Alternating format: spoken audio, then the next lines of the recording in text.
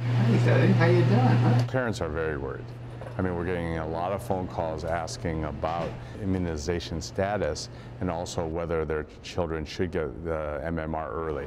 And we do have some friends um, who live further north that are very anti-vaccine. This was, you know, when I was pregnant with him, and um, oh my, he's never sick because we didn't do the vaccines. We recommend you not doing them. I'm convinced that most people make this decision not based on fact, but on feeling. Oh, I don't think I feel like I want to get my child immunized because of what I've heard from friends or what I read on the internet. There was a study in 1998 by a Dr. Wakefield which showed a possible association between the MMR and autism in a small number of children. Subsequently, that study has been shown to be inaccurate because a lot of the evidence was falsified and in fact Dr. Wakefield lost his medical license. Facts are that many studies have been done to look at the safety of vaccines and they're looking at large populations of children it's been determined that there is no association between the two so that autism is not not caused by the MMR.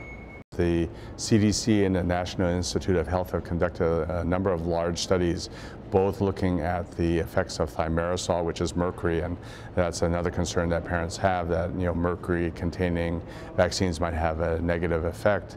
We effectively have removed mercury or thimerosal from all the children's uh, vaccines, and we've not seen any drop in autism or uh, any other uh, positive effects from that.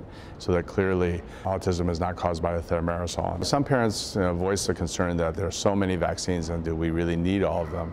There's no evidence that there's a problem with that. Uh, the children's immune systems are well suited to be able to tolerate all that.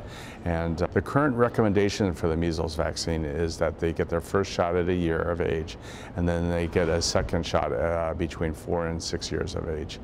You're protecting your children, and you're also being a good citizen and getting your child immunized. He's all set.